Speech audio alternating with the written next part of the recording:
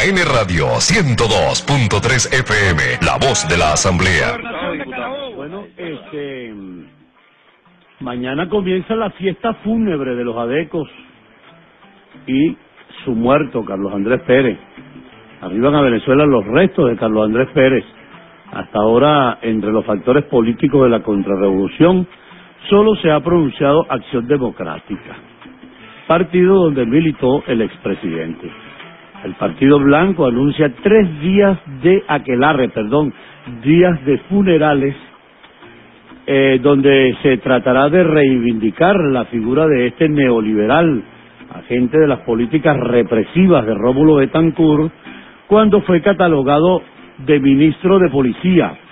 Era el ministro de Relaciones Interiores para aquel entonces, el gobierno de Rómulo Betancourt, y comandó el aparato de persecución, tortura y asesinatos que montó el gobierno del Gurú Adeco, además de gran culpable de la masacre de febrero de 1989.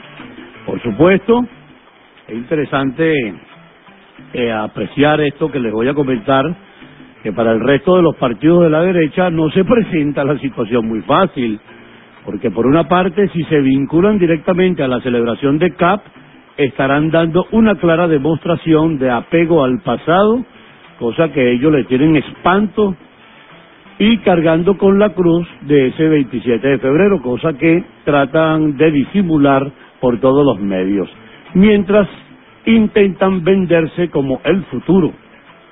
Pero si no lo hacen, estarán tirando también al zanjón, a su propia estirpe política, y quedarán como unos hipócritas ante la opinión pública.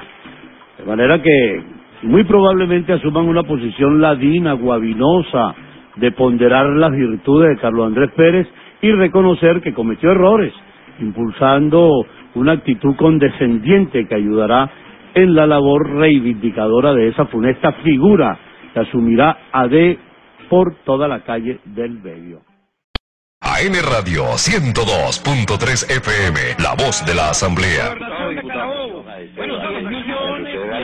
10.858.033 aprobados este periodo legislativo, pero también queremos hacer un llamado al ministro Ramírez es para concluirla.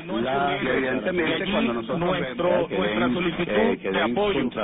Que den en 12 años que le vamos a dar menos la emisora 102.3 FM, que será la voz de la Asamblea, AN Radio, para contribuir con esa obligación, esa responsabilidad que tenemos de informar, con la responsabilidad que tenemos de impulsar la participación y el protagonismo del pueblo. Nosotros entonces vamos desde este momento a contar no solo con ANTV, el canal de la Asamblea, sino que vamos a contar con AN Radio, la voz de la Asamblea. Vamos a encender la radio. En este momento estamos encendiendo la radio en el dial 102.3 FM.